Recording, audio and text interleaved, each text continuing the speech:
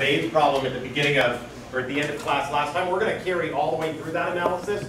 And I'm going to show you some illustrations as to what is going on so you can get kind of a, you know, an illustrated look at Bayesian analysis, how it sequentially adapts to data, so on and so forth. Before we do that, I'd like to get some review sessions down for the remainder of this class. I'm going to take the top two slots as tentative review hours. I know that some of you won't be able to make certain of these, so that's why I want to pick two different slots as well.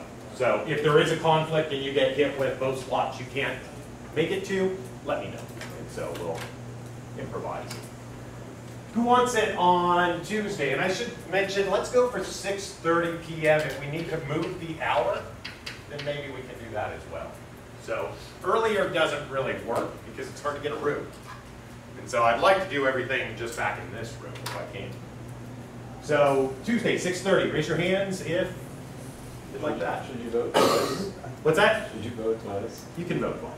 I don't really care. Okay, what you do. Tuesday So, okay, so you can vote twice if you'd like. So throw up your hands, let me count them. So one, two, three, four, five, six, seven, eight, nine, 10, 11, 12, 13. Okay, Wednesdays. Throw up your hands so I can count them. One, two, three, four, five, six, seven, eight, nine, 10, 11. Is there a 12? So Thursday.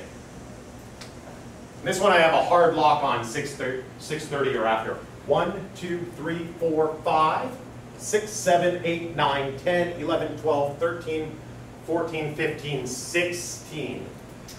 So, as a statistician, I always think, are these numbers all that different? There's clearly a bigger one. And so, does it mean anything? Is this random? Is there, I, is there anybody that cannot make Thursday at 6.30 after? We've got one, two. So you gentlemen, three. Um, is there a time that you could do on Thursday? Is 7 o'clock more preferable? You're just out. Class six thirty to seven forty-five. Is that understood? Okay. Um, is there anybody that absolutely cannot make Wednesday? One, two, three, four. Same reason, right? So let me just write down. Three right here, four right here. Anybody that absolutely cannot make Tuesday? Okay, same as the, okay, but Dan, you only have a Thursday class, not a Tuesday. Interesting. Let me get those hands again. One, two, three, four, five. Five cannot make this. These, I think, are our winners. If we shuffle between those two, we won't have conflict. What we might do to kick things off, and this is always an experiment for me, is maybe Sierra will do one, I'll do one, and then we'll alternate. And so maybe we can do that. And so we'll be doing this either on a weekly or bi-weekly schedule, depending on the need. So I'm going to pick those Wednesday and Thursdays, 6.30 p.m. review sessions. We'll start up in about a week. I'm not sure if we'll do next week. Sierra, can you send me a note on that? Yeah. Just a reminder so I can remember what I just agreed to. So 6.30 p.m. on both. Wednesday, Thursdays. Great. Any disgruntlement? Fantastic. That's a rarity.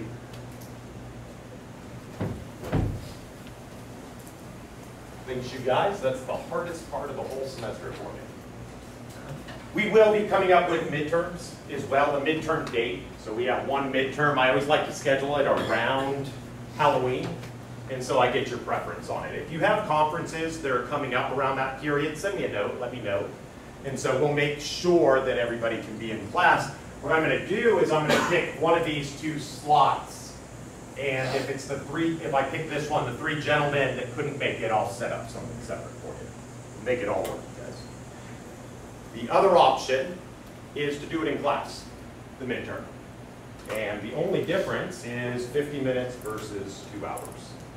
And so I'm going to probably write the same exam. So what I'm trying to encourage you to do is want to take this in the evening session. It's easier for you guys, probably easier for me as well.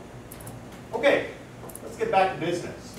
So I want to get back to this beta binomial question that we are studying, but let's just treat this very generally. So let's take a step backwards and just consider a very general inference question.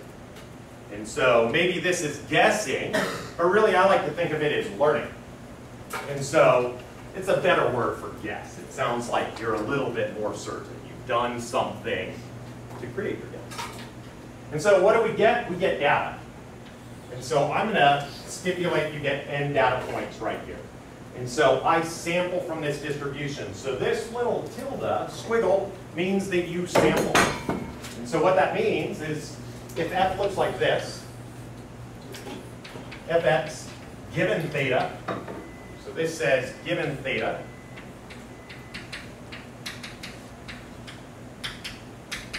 and these right here are your parameters that you would like to learn.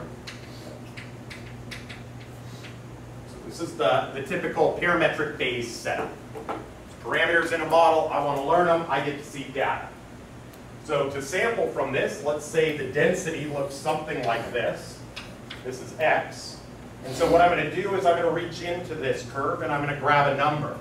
And I'm more likely to grab numbers in the regions where the curve is high. That's what it means to sample, and that's what this density represents. They are the weights in which you're inclined to sample. Okay, this is on a continuum scale, so, but ultimately, if you want to just break this up into discrete parts and making them very refined and very, very small, using the term weight would be correct on an element.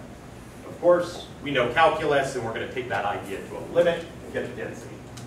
And so maybe I grab an element right there, my first draw. And so maybe I grab an element over here on my second draw. And I just keep drawing numbers. And if I drew a whole bunch of numbers, then I would get a histogram representation of this curve that converged very well to this continuum, this continuous curve. If I just get a few numbers, they might represent this very well. They might. If I only get like two or three numbers from f, I'm not going to have a very good histogram representation of the curve, and it would be very difficult for me to learn theta. So ultimately, how big does n need to be before you can learn theta has to do with how complex that curve is, and basically how well can you approximate the shape of that curve. So loosely speaking, that's the name of the game. We need enough data to tell us where the mass of the curve lives, and then we'll try to figure out what are the guiding parameters, theta. So that's a general inference question. We're going to be Bayesians about that. We need two things. There's really two ingredients in every Bayesian analysis. What are they? You guys got them. And those are exchangeable ideas as well. So, likelihood and prior, or prior and likelihood. Either way, you need both of them. If you're Bayesian, you've got both things. In some of the more advanced Bayesian strategies, you need to approximate f. You need to start to learn what f is instead of you know, having it out of the gates. In my class, a lot of times, I'll tell you what f is. You get to use that information. You know what the distribution is. But in practice, you might have to build f. Okay, so that's a little bit of a difference between reality and classroom. A lot of times I'm going to hand you that and tell you what it is. You don't have to model it. Okay, the likelihood. So how do I get this? I can make this very easy if I say these are IID realizations. So they're simple random samples. They're independent and identically distributed. So that means my influence on getting a particular data point doesn't depend on any other data point that I've already collected, given knowledge of theta. So if I know theta, I can do this. If I know theta, I can write down that curve and actually sample from everything. And so this specific curve has some set of fixed thetas. So I'm going to get those, and I'm going to be able to write down the likelihood. So if I'm IID, everything is simple. The likelihood looks like this. And so it looks, I'll say, likelihood theta, given all of my data, x, I'll write this down as x1 to xn. So it's the array of all of my data that I've collected. And this is going to be proportional to the product of all of these functions as a function of theta, where I'm going to plug in my sample data.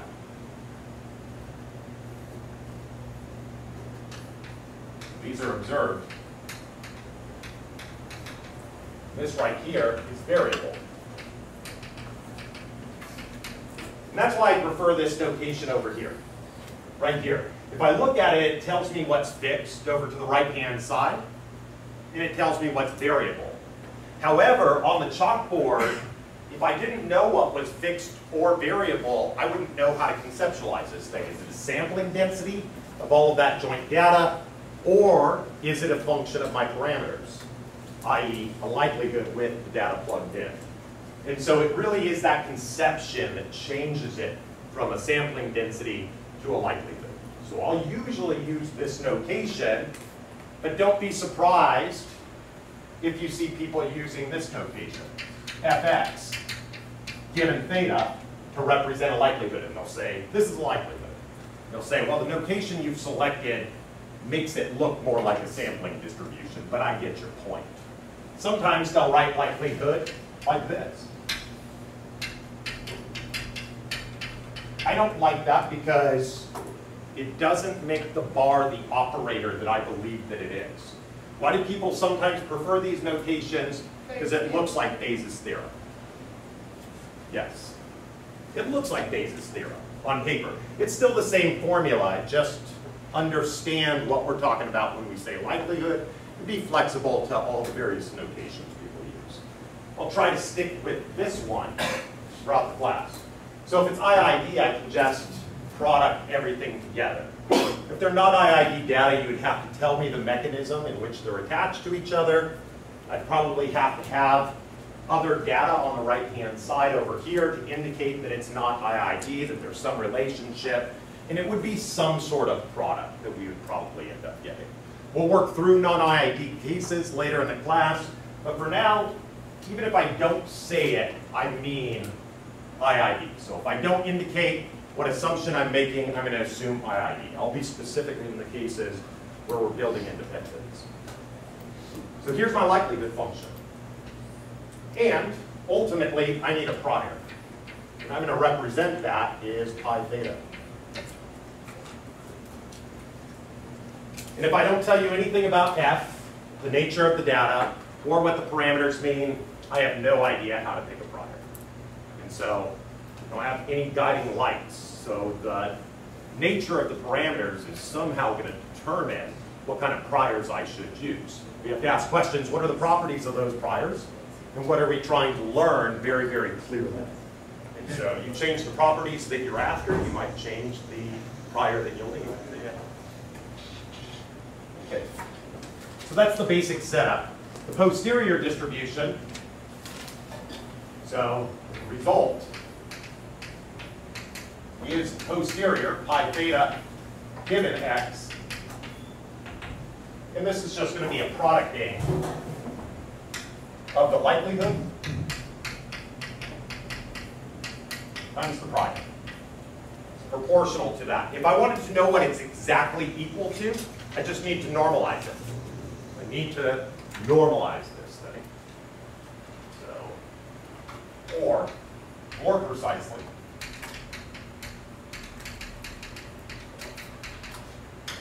posterior distribution is equal to the likelihood given x pi theta over integral pi theta given x, or likelihood of theta given x, pi theta the prior, integrate over theta. When I integrate over theta using this notation, I do mean that I'm integrating over the whole world of theta. I'm integrating theta out of the space. And so I usually won't write that down. If I don't tell you the bounds, I mean you're integrating over its entire space. I don't mean an indefinite integral. So you integrate over the region in which theta lives. So let me just ask you a question. Is the denominator a function of theta? No. It is not. Theta is gone from that equation. I've integrated it away. And so we're building a distribution on theta, and the only thing that depends on theta are these two creatures right here. So the denominator is acting as a normalization constant, making it so that if I integrate over entire theta on the posterior, it integrates to 1. And so the important bits are right there. All I need are the likelihood and the prior. So let's look at a concrete example. Let's go back to the example that we were illustrating in the last two lectures. So example, are going to be xi's are coming from a beta distribution, or I should say a Bernoulli distribution, with parameter p. So this is a coin flipping model. And I'm going to see some number of flips, n of them. Now we discussed, instead of writing this down, I could maybe just say, how many successes did I see in all n coin flips? And I can write down this statistic. Sum of the xi's are going to be Bernoulli. I should say binomial.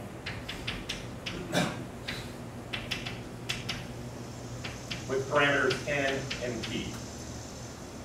And I should make reference to the xi's being either a 1 or a 0. So I've encoded these. This is going to happen with probability p.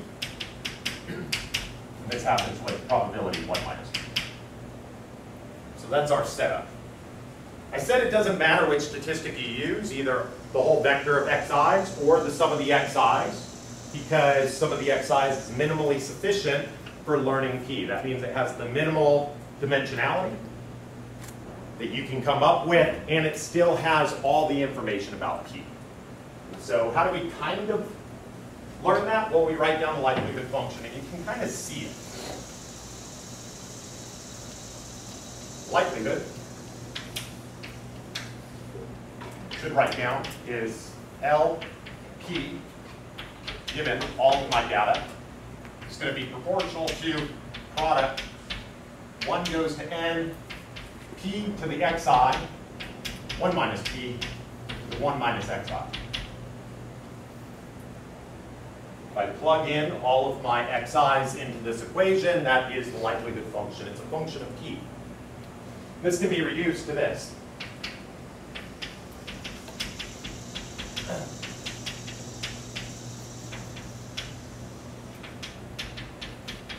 Could be written down this way. Now, on the chalkboard, it doesn't matter which way you write this down. It's kind of a nice artifact that all I really need to know is the sums of the xi's, and I don't need to know the xi's. That's what makes it minimally sufficient. I'm kind of rolling the factorization theorem in my head. So if you want to know more about that, 5114 is your course. Um,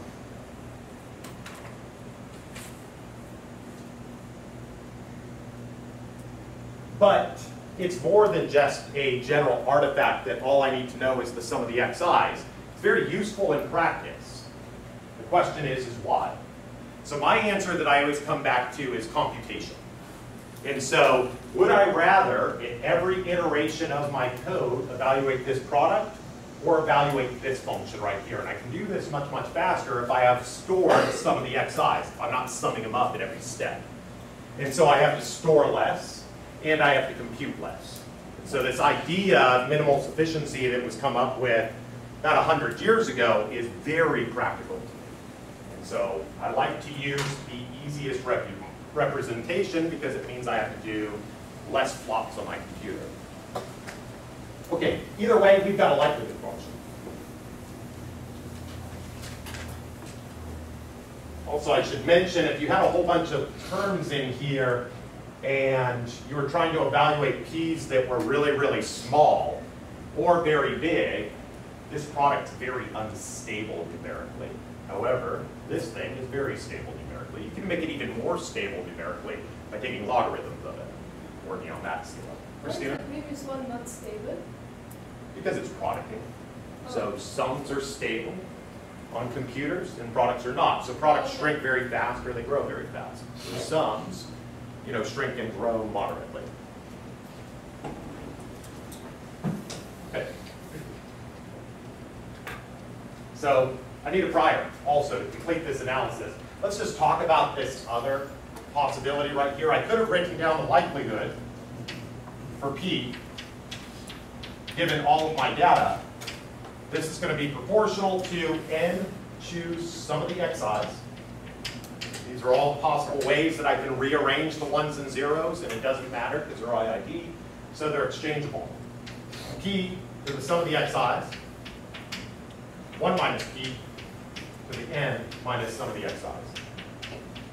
And I'm stipulating it doesn't matter which form I actually use. You'll notice that this is not a function of p. It's a different normalizing constant. It just represents the number of rearrangements of ones and zeros that I can't distinguish that have the same sum as that number right there. Okay, so to be a Bayesian, we need a prior. So prior. We'll discuss this in just a moment. So I'll write it down as pi p. And then to conclude, we're going to multiply these things together. It'll be my posterior distribution on p.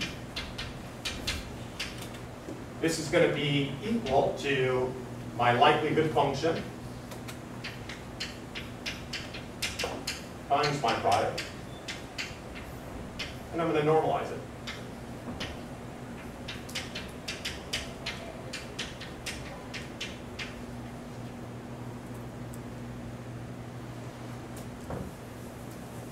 Let's plug in things and see what happens when we use these two different representations.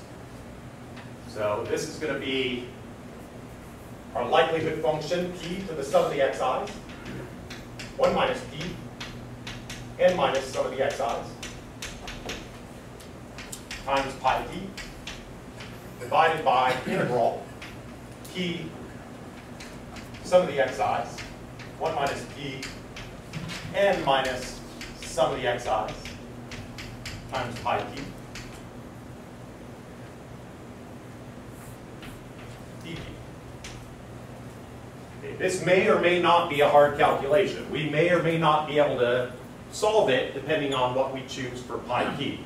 That's kind of what prevented a lot of people from being Bayesians all through the 60s and 70s, 80s. You might not know what that integral is. Might be high dimensional. In our case, it's one dimensional. We could attack it with a number of numerical techniques or Monte Carlo techniques, but back in the 60s, that wasn't readily available. So the computing just to do those common practice calculations nowadays didn't exist back then. I hope you'll recognize that if I use this as the likelihood, instead of the version coming from the Bernoulli representation, that I would have had n choose sum x here, n choose sum x here. And they would cancel each other out. And so I've always said likelihoods are defined up to proportionality. And they are. Likelihoods are self-relative to each other.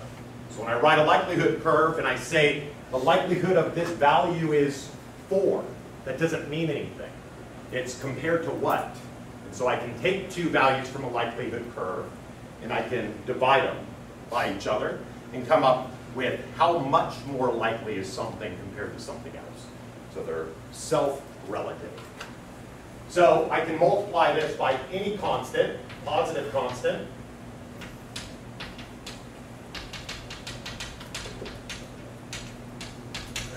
and they cancel out of that equation.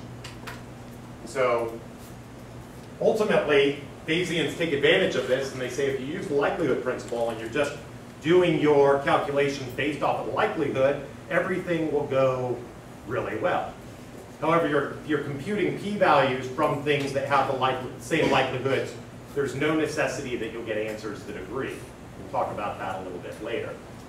But this is kind of a cool thing that if I had different stopping rules for how I collected the data, the n data points, it would ultimately vanish because the normalizing constant is the only part of the representation that would change.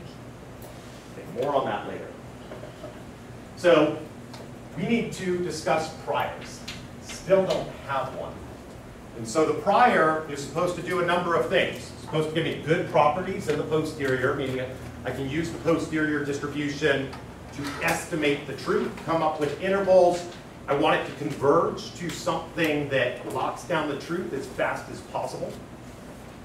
And I want it to stabilize my inferences when there's low sample sizes. So I want the prior to do a lot of things. I want it to regularize my, regular, regularize my space. I've caught the buzz here. So regularize my space. So what do I mean? I mean that when there's just a little bit of data in the system, your inferences can change all over the place really quickly. And so you want to settle that down a little bit. And so prior has the ability to do that. The likelihood function gives me the ability to jointly infer everything.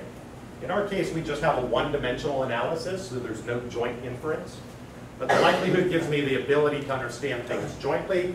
The prior gives me the ability to encode information, regularize my space. I get convergence properties out of it, so on and so forth. We need to choose a sensible choice. I'm not going to suggest we need an optimal choice, but I need a choice that is at least good enough to learn what P is relatively fast. So what would you pick? A beta. So there's like a key on the board, right? So I said something about this. So maybe a beta.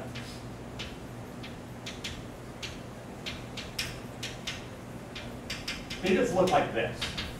So I'll say pi p would be proportional to, so there's a normalizing constant in here, p to the alpha minus 1, 1 minus p to the beta minus 1. I should be real polite about this and probably tell you that there's parameters that underline this distribution. So these are parameters that dictate the prior. These have special names. These are called hyperparameters.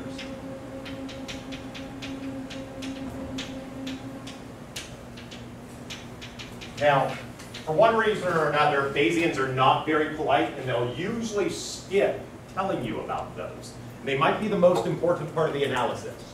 So if we pick numbers in there that really steer the analysis and doesn't let the data have its say, we're in trouble. And so it's always a good question to ask, what are these hyperparameters? Every prior has them. But sometimes we omit to tell you, and we just write that down as notation. Okay, We'll have lots of discussions about hyper choices, hyperparameter choices, so on and so forth. We'll have a little bit of discussion today. Maybe I don't want to muck around with any of that. I don't know what alpha and beta are. I don't know anything about beta distributions. What would another choice be? Uniform type. Maybe a uniform. So maybe pi p is equal to a uniform on 0, 1. Any other choices? Gaussian, right? What's that? Gaussian? Yeah, Gaussian. Okay, you're going to have to at least lock me down between 0 and 1. So first thing I always check in a prior is, does the space it cover cover where the parameters are determined to live by the sampling distribution, by whatever my model is. And so Gaussian fails that test. And so when I do ask you guys to pick priors, I'm going to be looking for that. So if you say like gamma, I'm going to say not a great choice because it lives between 0 and infinity. Whereas Gaussian lives between Minus. infinity and infinity. Now you might say, well, I'm going to truncate it. But then I'm going to ask you, how did you center it and what's your variables? Those would be your hyperparameters that you would have to choose. So not a great choice because it doesn't really match the, the nature of the problem. These distributions naturally live between 0 and 1. And so both of these, P is an element of 0, 1. So decent choices. Turns out the uniform is a subcase of the beta distribution. So note, uniform 0, 1 is equal to a beta 1, 1. So if I plugged in these two parameters, 1 and 1, for alpha and beta, specific, alpha is equal to 1 and beta is equal to 1, this would flatten this thing out. You might not know what this looks like. We'll see it in a second in my simulations. But if this is one, and that's one, then these are both raised to the power of zero, which makes them one. And so what's the normalization constant that I need to normalize it? One. And so it'll be a, zero, a uniform zero, one. It turns out, here's a fact, there is, if I don't know anything about the problem whatsoever, and P is just randomly generated, there's not special rules to generating P in the first place, just could be any number between zero and one you pick, I can learn it fastest on average if I pick alpha and beta to be a half and a half. So those results took a long time to prove. So Larry Brown over at University of Pennsylvania proved that, I think back in the 70s. Isn't that curve? It is. And it has all kinds of cool properties. So let me just make some notes. Notes. Alpha is equal to 1 half, beta is equal to 1 half is optimal. In some sense, anytime anybody says it's optimal, sounds really good, Sounds like it can't be beaten. But they chose the optimality criteria. And so it turns out this is optimal in the sense of coming up with highest posterior intervals, highest posterior density intervals, we'll talk about those later, and in estimating P simultaneously. It's also Jeffreys prior, what Christina pointed out to us, which means it's transformation invariant. If I had decided instead of talking about P, I wanted to talk about 1 over P, it's just 1 over the probabilities. I change my model a little bit and I transform it to a scale that I like. My inferences are exactly the same. You'll notice that in every statistics class you've ever taken, if you transform something, it changes your answers. So it's desirable to come up with prior choices that are transformation invariant. That if I come up with this rule, whatever this rule is that Christina is specifying, it's called Jeffreys rule. Jeffreys prior, derived from it, that it'll give me priors that are transformation invariant, that if you started with a different transform of your parameter, so instead of learning p, I want to learn log p, log p over 1 minus p, or something like that. So log odds, maybe I want to learn that, just some other variable, I'll come up with identical inferences.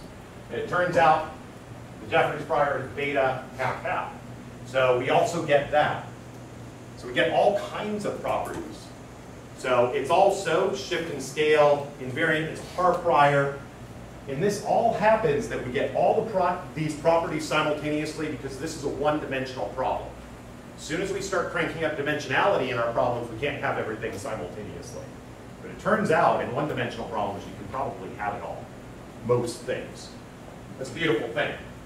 So later on, I'm going to make you choose your properties, which ones you want, because you can't have them all in the same analysis. That kind of makes sense, but it's also a little bit like, well, that's a bummer. But it's just an impossible thing. So this is optimal in some sense. It's Jeffreys. It's a reference, meaning, I'll say this. It's Jeffreys. Which means it's transform invariant. We'll come back to that in a couple weeks.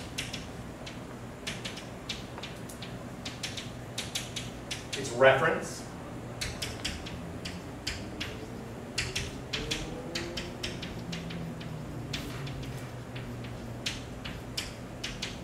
Which means that it converges fastest.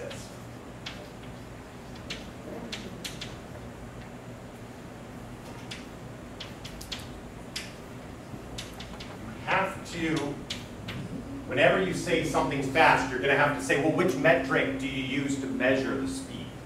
And so this is in a Kullback-Leibler sense. And so it turns out it's the rule that pops out from it. It's also entropy, max entropy, if you wanted to know. And that just turns out to be something that might be a coincidence. I don't know enough about it because we've switched gears over the last 40 years going talking about reference priors. Sometimes they align, sometimes they don't.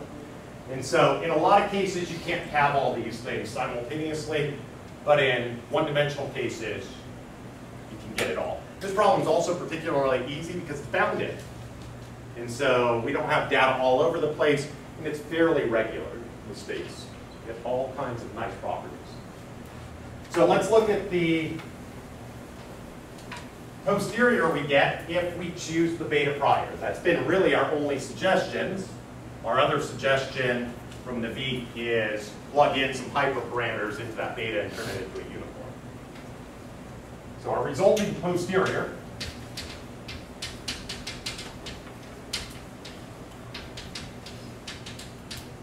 is P,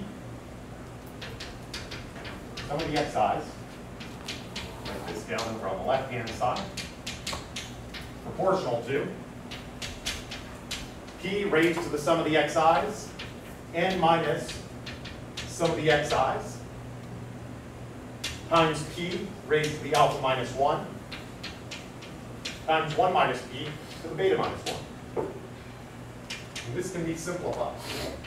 P to the sum of the xi's plus alpha minus 1 times 1 minus p to the n minus sum of the xi's minus 1. So I've written down a distribution up to proportionality. Well, I used an equal sign right here. As soon as I use the proportionality sign once, Plus beta, it's still just up to proportionality. Plus beta. beta. Plus beta. Yes.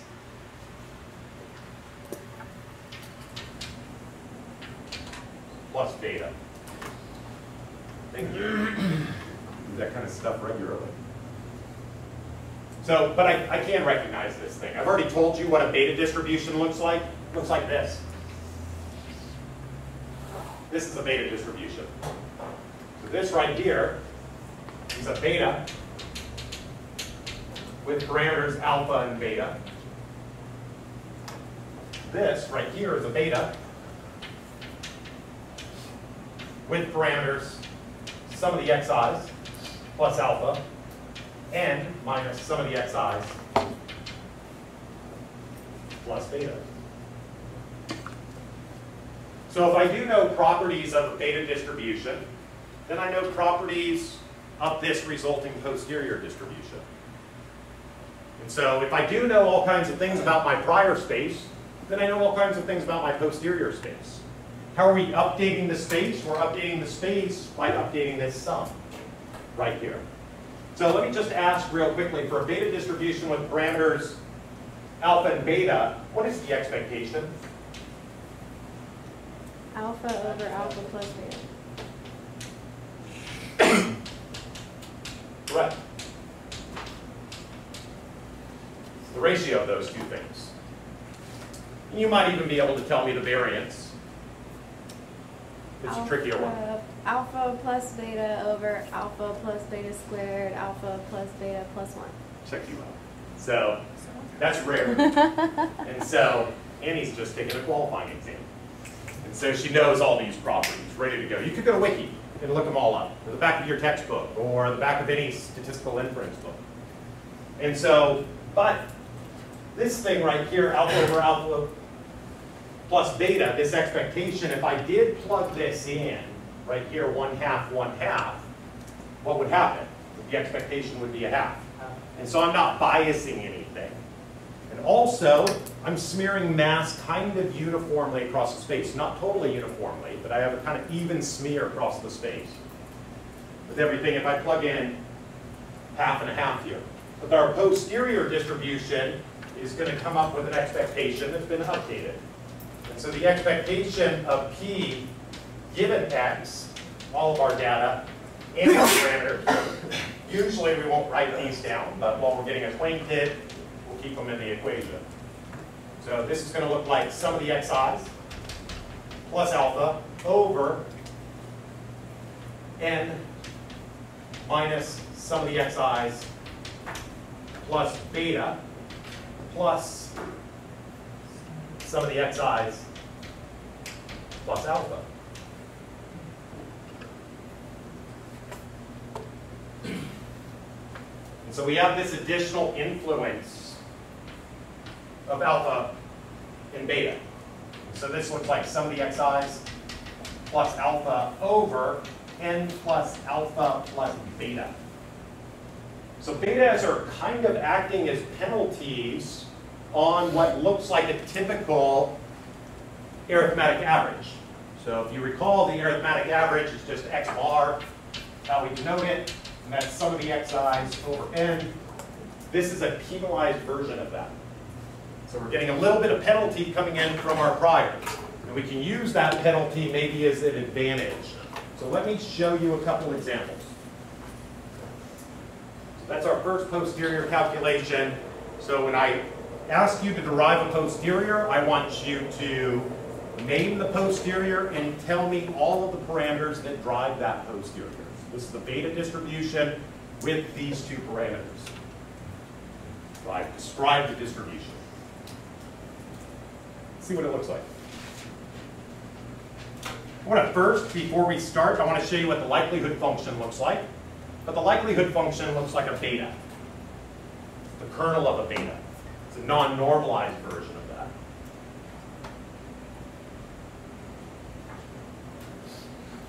So I'm going to flip the coin some number of times.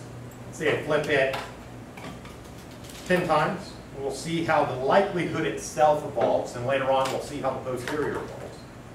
So I'm going to pick a truth, 0.7. So my true p is 0.7. And the number of times I'm going to flip the are 10. I'll show you my code next time in class. So here's my truth, 0.7. That's my blue line. I haven't flipped the coin yet. I'm going to flip it once. And there's my likelihood. Boom. The red line. My likelihood function. I could scale it up and down. I can multiply by any positive number. I chose to normalize these. So that the mass underneath added to 1. That's not always possible. Can't always normalize a likelihood. But I chose to do it just for graphic purposes. And so what did I get right here? What is that line? That's P. That's just the equation P. I flipped it once, I got a success. And so what have I ruled out? I ruled out that my probability of success cannot be zero. Right there. P at zero, when I evaluate P at P is equal to zero, it's zero. So the likelihood of P being zero is zero. Absolutely ruled that out. Why? Because I saw a success. So probability of success can't be zero because I've seen it. The likelihood looks like a straight line. That's kind of cool. Let's flip the coin again. So I saw another success. So it's starting to bring down how likely values are below 0.1. Saying that's pretty unlikely. I just saw two successes in a row. I doubt that p is less than 0.1. That's what this is establishing. And so it's going up as we go across. I've only seen two successes. Likelihood after another success is three, is that, it's arcing up. So this is just p cubed, the function that we see. Now I saw a failure. It totally bends this curve all the way around. That's phenomenal. I really like that. Betas are super flexible. Very flexy distributions. They can do a lot of things. They limit things that look like normals. That's not a coincidence. So I see another failure or another success right there. Keep doing this, march through, see what we get. Let's actually run that into the future just a little bit longer. We'll pause for a second.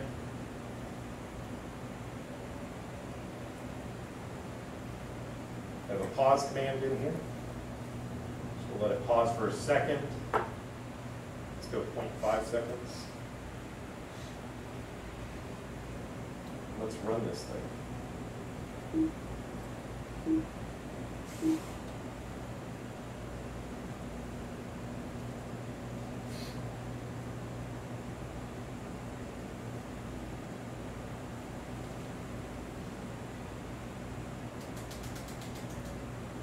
Go 100 iterations, is equal to 0.7.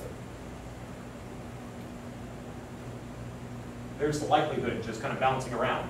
What a Bayesian would like to do is penalize this likelihood slightly, regularize the space, and basically use its general shape to say where we believe the truth lives. So look at what this likelihood is doing. It's stacking up around the truth. And so it was skewed for a while, it was a straight line for a while, had some weird skewness properties, and now it looks almost like a normal distribution. That's fantastic. Love that. Sense of visible. and it's centering around the truth. We're seeing the central limit theorem kicking in. Turns out the central limit theorem is kicking in on all this. Keep in mind the sufficient statistic is sum of the xi's. The central limit theorem says something about averaging numbers.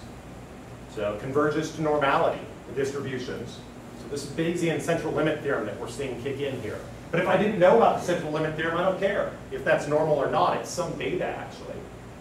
And so asymptotically it might be normal. Maybe I just don't even care. So I don't need to approximate anything. And so that's pretty cool. And if I kept running this infinitely long, I flipped an infinite number of point flips, this thing would converge to a point mass right at the blue line. Law of large numbers, again, central limit theorem, variance is decreasing. Lots of ways to prove it. Let's see what a Bayesian does. So slightly different thing. I've got another piece of code that will show you, and we'll talk about this next time, a hypothesis test. If you want to glance over to the left real quickly, I'm going to be testing this in the traditional classical fashion. I'm actually going to be using the cumulative distribution of the binomial distribution. I'm not doing the normal approximation. So these are exact p-values that I'm computing, not approximate ones. Let's see what's going on. I have a little bit of code that I need to input. So I've got true p I need to put in, 0.7. I need to plug in my hyperparameters. I'm going to say a half and a half because I said those were optimal, so they must be okay. Number of iterations I want to watch for. Let's go for 100. And epsilon is going to refer to my hypothesis test. And so I'm going to be testing whether or not P naught is true P plus some distance away from that. We will go through that next time to get you reacquainted with what a p-value is and how this one-sided test works. Can trust me, right now, I've computed this correctly. So I'm going to plug in 0.3. We'll talk about that number later. Let's watch our graph evolve. Gotten a head start on us. Two left panels, we don't need to watch right now. They're the relative frequency of everything. So what is x bar doing? So where is x bar going in all of this? The middle panel is a p-value, so it's cascaded to zero. It's saying reject the null hypothesis. It did it really quickly. Talk about that later. And the Bayesian is drawing this posterior curve. And what I've said right here is that in my legend, my posterior is the dark line, and my likelihood is the dashed line. The hypothesis was one half here. The hypothesis is p plus epsilon. Let's talk about it later. Don't look at the left-hand plot. How about that? So you don't need to know what my hypothesis is for this. I I haven't done a Bayesian hypothesis test. All I'm doing is drawing the posterior. So don't worry about the p-value, the classical thing. Talk about that next time. So what I have is I have prior. Looks like this horseshoe-shaped thing. And so, and that has some real implications. So I've said that's optimal, and what it's doing is putting a lot of mass on zero and one. That's kind of fascinating. You might wonder why you want to do this. And so, the likelihood and the posterior distribution have essentially converged to each other, and that's why you can't see it in that picture. So let's draw it one more time. Then we'll go, and we'll come back to all of this, and then we'll do another example.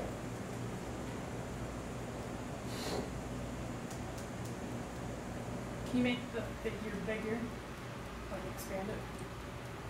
Yes.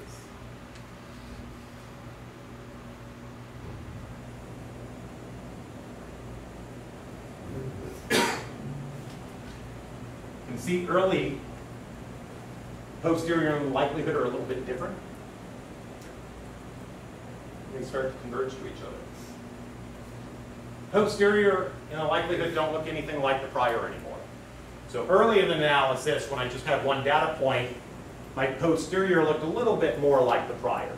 As I started to see more and more data, it started to pull away from it.